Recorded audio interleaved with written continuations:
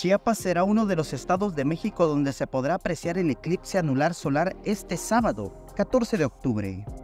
Eh, en Chiapas vamos a poder observarlo, solo que de manera parcial, que va a tener una, eh, una parcialidad del 80% en su máximo y pues que podemos empezar a comenzar a ver desde las 9 con 48 minutos de la mañana, llegará a su fase máxima a las 11 con 26 y terminando el recorrido de la luna por el disco solar a la 1 de la tarde con 11 minutos.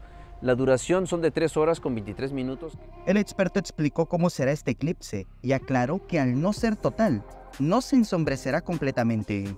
La luna al estar en su apogeo, en el punto más lejano al sol, va a poder distinguirse un anillo de fuego, como se le ha denominado, que es prácticamente que no está obstaculizando el total eh, del sol, el disco solar, por lo que eh, no se va a oscurecer, en la parte donde la franja donde va a ser visible la, máxima anularidad que es en los estados, en algunos municipios de los estados de Campeche, Quintana Roo y Yucatán, pues se va a ver como un día normal pero nublado.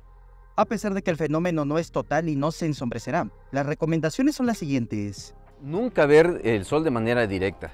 Eh, no usar gafas de las que usamos de manera diaria o continua para caminar o correr, eh, no usar radiografías, no usar reflejos, ya sea de espejos o de una cubeta con agua, este, porque eso siempre nos va a dañar la vista. No apuntar con telescopios o las cámaras, ya sea de celular o de, de las cámaras profesionales porque podemos dañar el sensor de, la, de, nuestras cámaras o bien podemos tener daños en nuestro, en nuestro ojo. ¿no? Entonces, por eso es siempre importante buscar estos filtros certificados o las gafas solares certificadas para poder tener una mejor experiencia y poder ver el fenómeno completo. El grupo astronómico Hatamaxa invitó a la ciudadanía a ser partícipes de este evento de forma responsable y por ello instalarán 15 telescopios para observación gratuita vamos a, tener instalados los telescopios con filtros certificados para poder hacer la observación y poder también compartir esta observación del eclipse con las personas que nos visiten.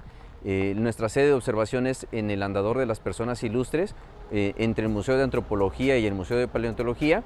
Este, y allí vamos a empezar o abrimos el área de telescopios a las 9.30 de la mañana. Existen muchos mitos en torno a los eclipses, como el que adelgaza a las personas que lo observan. El experto aconsejó hacer caso omiso.